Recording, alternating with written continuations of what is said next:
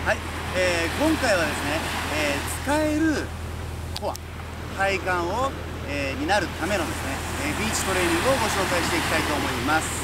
はい、えビーチの特徴は柔らかい面ですね。この柔らかい面で、えバランスを取ろうとするのであなたの体幹が徐々に徐々に機能使えるようになっていきます。はい、えー、今回どういう動きをするかというと両足を開いたパーの状態から前後に足を開いたチョキこの動きを連続で行っていきます。はい。ポイントは目線ですね。目線を常に一定方向を見るようにします別のところを見たりしないようにしましょう。はい。でその注意点。注意点は特に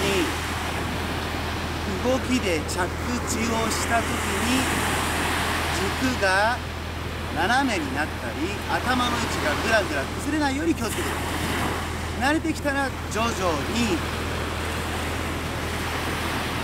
早く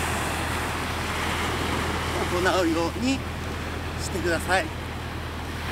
はいできるだけね頭の位置一定の位置でできるように、えー、意識しながらやってみてください。